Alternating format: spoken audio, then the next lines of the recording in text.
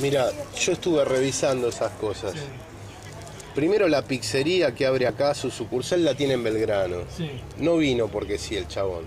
En segundo lugar, la mayoría de las personas que trabajaron ahí no trabajaron ahí porque sí. sí. Ni Luciano, ni el pibe colombiano, ni el pibe de La Pampa.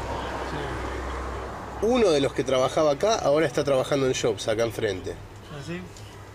El que estaba con la. Sí, sí, sí. trataba con la chica de misiones. Eh, nada de lo que hicieron lo hicieron casualmente. Ese que, el que labura acá, ese se la agarchaba la que tenía el teléfono. Eso decía él. Sí. Eh, ninguna de las ninguna de las eh, cosas que fueron hechas fueron hechas de modo casual. Y sí.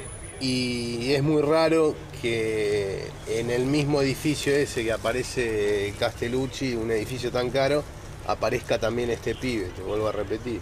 Es una cosa que no... Claro. eh, Castellucci fue a ese edificio porque alguien lo llamó, supongo yo. Claro, sí, seguro. Hola, Hola, ¿qué ¿qué tal?